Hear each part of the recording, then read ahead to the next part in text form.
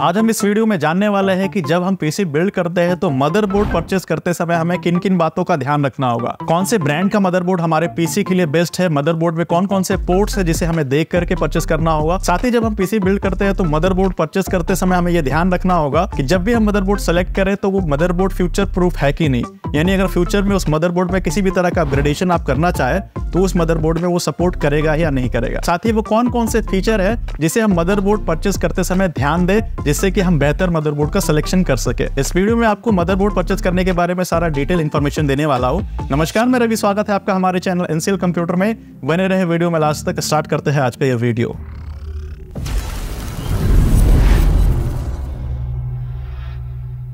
क्यों हमें मदरबोर्ड बढ़िया ब्रांड की, बढ़िया क्वालिटी की या फ्यूचर प्रूफ लेना ज़रूरी है? क्योंकि हमारे मदरबोर्ड में ही पीसी का सारा कंपोनेंट कनेक्ट होता है। तो जितना अच्छा मदरबोर्ड हमारे पीसी में होगा, उतना अच्छा परफॉर्मेंस हमारे कंप्यूटर को मिलेगा। इसलिए जब भी आप पीसी बिल्ड करवाए या कंप्यूटर परचेस करें तो उस समय ध्यान रखें कि आप अपने कंप्यूटर में एक बढ़िया ब्रांड का, बढ़िया क्वालिटी की फ्यूचर प्रूफ मदरबोर्ड इंस्टॉल करवाए, जिससे आपके कंप्यूटर में लगे सभी कंपोनेंट्स का बहुत ही बढ़िया एक्सपीरियंस हो सके। तो सबसे पहले मैं आपको बता देता हूँ कि मदरबोर्ड में सबसे बेस्ट ब्रांड्स कौन कौन से हैं? तो नंबर वन पे जो ब्रांड है, वो है गीगाबाइट नंबर टू पे जो ब्रांड है वो है आसूस नंबर थ्री पे जो ब्रांड है वो है एमएसआई और नंबर फोर पे जो ब्रांड है वो एसरॉक ये सभी ब्रांड्स के मदरबोर्ड काफ़ी बढ़िया क्वालिटी की मदरबोर्ड्स बनाते हैं कंपोनेंट्स इस्तेमाल करती है। साथ ही इन सभी कंपनियों की मदरबोर्ड आपको बेहतर परफॉर्मेंस बेहतर आउटपुट निकाल के देती है। इन कंपनियों का रेटिंग रिव्यू भी काफ़ी अच्छा है, साथ ही इन कंपनियों का सर्विस भी बहुत बेहतरीन है। साथ ही साथ इन कंपनियों का मदरबोर्ड काफ़ी लंबे समय तक चलता है। हम बात कर लेते हैं पीसी बिल्ड करवाते समय जो मदरबोर्ड का सिलेक्शन होता है, उन मदरबोर्ड के सिलेक्शन पे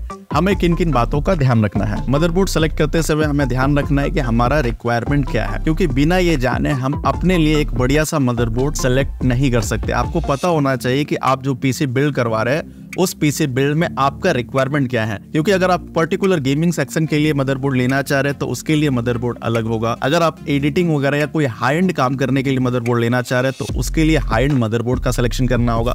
अगर आपका काम एकदम बेसिक्स है मल्टीटास्किंग करना है रेगुलर घर पे इस्तेमाल करने के लिए पीसी बिल्ड करना है तो उस रिक्वायरमेंट को फुलफिल करने के लिए मदरबोर्ड का सिलेक्शन बिल्कुल ही अलग होगा। तो सबसे पहले आप अपना रिक्वायरमेंट डिसाइड कर ले, उसके बाद ही मदरबोर्ड का सिलेक्शन करें तो आपके लिए बेस्ट होगा। तो फ़िलहाल के लिए मैं आपको एक मदरबोर्ड को दिखा देता हूँ कि मदरबोर्ड में कौन कौन से पार्ट्स कनेक्ट होते हैं, कहाँ पे होते हैं, और आपको किन किन बातों का ध्यान रखना है। तो ये जो सेक्शन होता है, ये मदरबोर्ड के प्रोसेसर का सेक्शन होता है। अगर आप अभी लेटेस्ट कॉन्फ़िगरेशन में बिल्ड करवाना चाह रहे हैं तो फोर्टीन जनरेशन तक का मार्केट में प्रोसेसर चल रहा है इंटेल वेरिएंट में और एमडी वेरिएंट में एट्थ जनरेशन तक का प्रोसेसर मार्केट में आ चुका है। अब मैं आपको प्रोसेसर के बारे में ज़्यादा डिटेल नहीं बताऊँगा कि जनरेशन क्या होते हैं, कौन सा लेना सही होगा, नहीं होगा। वीडियो बहुत ही लंबा हो जाएगा क्योंकि हम मदरबोर्ड के बारे में बात कर रहे हैं तो पहले हम मदरबोर्ड के बारे में ही समझ लेते हैं। तो ये जो सेक्शन होता है, यहाँ पे आप प्रोसेसर इंस्टॉल करते हैं। ये जो सेक्शन होता है, ये रैम का सेक्शन होता है, यानी कि यहाँ पे आप रैम इंस्टॉल कर सकते हैं। ये जो सेक्शन होता है, यहाँ पे आप ग्राफिक्स कार्ड या किसी भी तरह का पीसीआई स्लॉट में कोई भी कार्ड इस्तेमाल करना है graphics card sound card LAN card तो आप यहाँ पे इस्तेमाल कर सकते हैं। ये जो सेक्शन होता है, वो एसएसडी का सेक्शन होता है एनवी एम या एम डॉट टू एस आप इसमें इंस्टॉल कर सकते हैं। साथ ही ये जो कुछ पोर्ट होते हैं, यहाँ पे आप हार्ड ड्राइव वगैरह कनेक्ट कर सकते हैं, उसका पोर्ट होता है। और ये जो दो सेक्शन है, यहाँ पे आपको पावर सप्लाई से मदरबोर्ड में पावर इनपुट मिलता है। साथ ही साथ इसके फ्रंट में कई सारे आपको इनपुट के ऑप्शन देखने को मिलते हैं। USB H D M I V G A P S two LAN cable या साउंड का पोर्ट तो यहाँ पे जितने भी पोर्ट्स है, वो आपको मदरबोर्ड के फ्रंट पैनल में देखने को मिलते हैं। तो ये बेसिक मदरबोर्ड का ओवरव्यू हो गया। हालाँकि डिटेल में जानना है तो यहाँ पे आप डायग्राम देख के समझ सकते हैं कि किसमें क्या क्या लगता है। अब हम जान लेते हैं, जो मदरबोर्ड में पहला सेक्शन होता है, वो होता है प्रोसेसर का। तो ज़ाहिर सी बात है, जब भी आप मदरबोर्ड सेलेक्ट करें तो आपको एक ऐसा मदरबोर्ड सेलेक्ट करना है, जिसमें अभी आप कोई सा भी प्रोसेसर इस्तेमाल क्यों ना कर रहे हो। फ्यूचर में अगर इसी मदरबोर्ड में आपको प्रोसेसर अपग्रेड करना रहा तो इस मदरबोर्ड पे मैक्सिमम प्रोसेसर का सपोर्ट आपको चेक करना एग्ज़ाम्पल के लिए अगर आप आप ट्वेल्थ जनरेशन में प्रोसेसर आई थ्री का इस्तेमाल कर रहे हैं तो आपको ध्यान रखना होगा कि फ्यूचर में अगर आपको इस मदरबोर्ड में आई नाइन तक का प्रोसेसर अपग्रेड करना हुआ तो इसी मदरबोर्ड में आप i9 तक के प्रोसेसर को अपग्रेड कर सके। जैसे कि इसमें ऑप्शन दिया हुआ है इंटेल का L G A seventeen hundred socket support करेगा। यानी इस मदरबोर्ड में ट्वेल्थ और थर्टींथ दोनों जनरेशन के प्रोसेसर सपोर्ट कर जाएँगे। अभी फ़िलहाल हम जो मदरबोर्ड के बारे में बात कर रहे हैं, वो है आसूस का prime B seven sixty M motherboard इसमें आपको कई सारे ऑप्शन देखने को मिल जाते हैं। फ़िलहाल हम प्रोसेसर के बारे में बात कर रहे हैं तो मैंने आपको बता दिया, इस मदरबोर्ड में आपको ट्वेल्व थर्टीन जनरेशन तक के प्रोसेसर का सपोर्ट दिया है। आई थ्री से लेकर के आई नाइन तक के प्रोसेसर को आप इसमें लगा सकते हैं। साथ ही आपको ध्यान रखना है कि आप अपने मदरबोर्ड में मैक्सिमम मेमोरी कितना लगा सकते हैं। जैसे इसमें रैम का चार स्लॉट दिया हुआ है, यानी कि इस मदरबोर्ड में आप चार रैम के स्टिक को इस्तेमाल कर सकते हैं। साथ ही आपको ध्यान रखना है, मैक्सिमम रैम सपोर्ट कितना दिया है। इसमें जैसे कि डी रैम सपोर्ट करेगा, डुअल चैनल का ऑप्शन दिया, यानी कि डुअल चैनल का पेयर बना करके आप रैम इस्तेमाल कर सकते हैं। यानी कि अगर आप सिक्सटीन जीबी का एक रैम इस्तेमाल करते हैं तो sixteen into four, sixty four GB तक का रैम आप इस मदरबोर्ड में इस्तेमाल कर सकते हैं। उसके बाद आपको इसमें एनवीएमई का स्लॉट मिलता है एनवीएमई एम डॉट टू का दो स्लॉट देखने को मिलता है। एक स्लॉट यहाँ पे दिया हुआ है और दूसरा स्लॉट यहाँ पे दिया हुआ है यानी एनवीएमई एसएसडी अभी के समय में मदरबोर्ड में ये ऑप्शन होना बिल्कुल ज़रूरी है। क्योंकि अगर आपको रेगुलर परफॉर्मेंस के लिए भी पीसी बिल्ड करना है तो आपको एसएसडी अपने कंप्यूटर पर इस्तेमाल करना होगा। और आपके मदरबोर्ड में एनवीएमई का ऑप्शन होना चाहिए, क्योंकि एनवीएमई एसएसडी का speed as compare other variant के एसएसडी के मुकाबले काफ़ी फास्ट होता है। साथ ही आपके मदरबोर्ड में पीसीआई का स्लॉट जनरली होता ही है। आपको ध्यान रखना है पीसीआई एक्सप्रेस का स्लॉट हो तो ज़्यादा बेहतर है। उसमें आपका बेहतर आउटपुट निकाल के देता है। अगर फ्यूचर में अगर आप ग्राफिक्स कार्ड वगैरह इंस्टॉल करना चाहते हैं, या अभी अगर आप ग्राफिक्स कार्ड लगाना चाहते हैं तो इस वाले स्लॉट में ग्राफिक्स कार्ड का अच्छा परफॉर्मेंस देखने को मिलता है। साथ ही अगर एक से ज़्यादा पीसीआई स्लॉट आपको दिया है तो फ्यूचर में आप एक, दो, तीन ग्राफिक्स कार्ड भी लगाना हुआ तो इजीली लगा सकते हैं। इस वाले मदरबोर्ड में तीन ग्राफिक्स कार्ड लगाने का ऑप्शन दिया है। यानी अगर आप चार चार डिस्प्ले का तीन ग्राफिक्स लगा देते हैं तो आपको एक ही कंप्यूटर से 12 डिस्प्ले कनेक्ट करने का ऑप्शन मिल जाएगा। आपको जितना लेटेस्ट पोर्ट्स का अभी रिक्वायरमेंट है, वो सभी पोर्ट्स आपके मदरबोर्ड में होने चाहिए। एग्ज़ाम्पल के लिए HDMI का ऑप्शन होना चाहिए, जो बेसिक फ़ंक्शन है। उसके बाद अगर आपको डीपी पोर्ट का ऑप्शन मिलता है डीपी पोर्ट से आपको हायर रेजोल्यूशन का आउटपुट निकाल सकते हैं। साथ ही यूएसबी 3.0 का ऑप्शन होना चाहिए, जैसा कि इस मदरबोर्ड में दिखा हुआ। PS2 का ऑप्शन अभी वैसा रिक्वायरमेंट नहीं है बट फिर भी अगर आपको मिल जाता है तो बहुत ही बढ़िया। अगर आप PS2 में कीबोर्ड माउस वगैरह इस्तेमाल करना चाहते हैं तो इजीली कर सकते हैं। साथ ही साथ आरजे का हाई स्पीड का गीगा बिट का आपको पोर्ट मिलना चाहिए, जैसे इसमें two point five G ethernet port का ऑप्शन दिया है तो आप इसमें अच्छी तरह हाई स्पीड में इंटरनेट का इस्तेमाल कर सकते हैं। साथ ही साथ ये बेसिक ऑडियो जैक है, यानी कि स्पीकर वगैरह कनेक्ट करना हुआ तो ये पोर्ट आपको लगभग हर मदरबोर्ड में देखने को मिल जाता है। तो ये बेसिक फीचर है जो कि हर मदरबोर्ड में होना चाहिए। अब एग्जांपल के लिए अगर हम गीगाबाइट का मदरबोर्ड देखें, अगर आप बेसिक पीसी मल्टीटास्किंग के लिए इस्तेमाल करना चाह रहे हैं तो इसमें एच एक जो मदरबोर्ड है, इसमें आपको हाई सपोर्ट दिया हुआ है थर्टीन फोर्टीन और ट्वेल्थ जनरेशन के प्रोसेसर का सपोर्ट दिया है। डुअल चैनल का रैम इस्तेमाल कर सकते हैं, यानी इसमें आपको दो ही रैम स्लॉट देखने को मिलते हैं।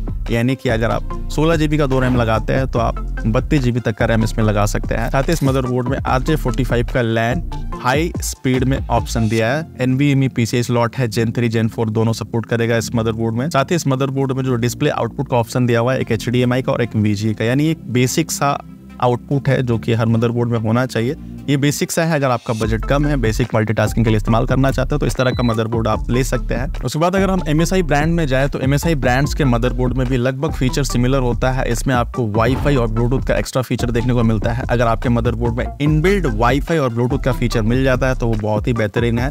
हाई स्पीड में आप इंटरनेट का इस्तेमाल कर सकते हैं, साथ ही वायरलेसली आप ब्लूटूथ का इस्तेमाल करके स्पीकर वगैरह बजाना चाहते हैं तो इजिली कर सकते हैं। तो ये ऑप्शन भी आप देख सकते हैं, अगर आप पीसी बिल्ड कर रहे हैं तो अगर आपको वाईफाई और ब्लूटूथ का ऑप्शन चाहिए तो ये वाले ऑप्शन आपको देखने को मिल जाएँगे एम एस आई के B five fifty gaming H wifi motherboard में। इसमें आपको टाइप सी का भी पोर्ट देखने को मिलेगा, जो कि अभी के समय में ज़्यादा यूज़ किए जाते हैं तो इस तरह का पोर्ट का भी आप रिक्वायरमेंट देख सकते हैं। मदरबोर्ड में जितना फीचर्स और जितना प्रीमियम लेवल का आप मदरबोर्ड सेलेक्ट करते हैं, उतना ही आपका बजट बढ़ता जाता है। तो अगर आपका बजट है तो ही आप प्रीमियम लेवल का या हाई लेवल के या हाई कॉन्फ़िगरेशन के मदरबोर्ड का सिलेक्शन करें। अगर आपका बजट नहीं है तो आप बेसिक सेगमेंट में भी जा सकते हैं, लेकिन ब्रांड्स जैसा मैंने बताया, इन सभी ब्रांड्स में से कोई सा भी ब्रांड का सिलेक्शन कर सकते हैं। अगर आप आरजीबी वेरिएंट में मदरबोर्ड लेना चाहते हैं तो आरजीबी गेमिंग सीरीज़ का भी मदरबोर्ड आता है, जिसमें आपको आरजीबी वेरिएंट्स भी देखने को मिलेंगे। अब बात करें एसरोक में तो एसरोक में भी एएमडी और इंटेल सीरीज़ में मदरबोर्ड बनाती है एसरोक ब्रांड अगर हम बी फोर फिफ्टी मदरबोर्ड जिसमें की एएमडी के फाइव सीरीज़ तक के प्रोसेसर सपोर्ट किए जाते हैं, इस मदरबोर्ड में आपको डी डी रैम स्लॉट दिया है, यानी कि डी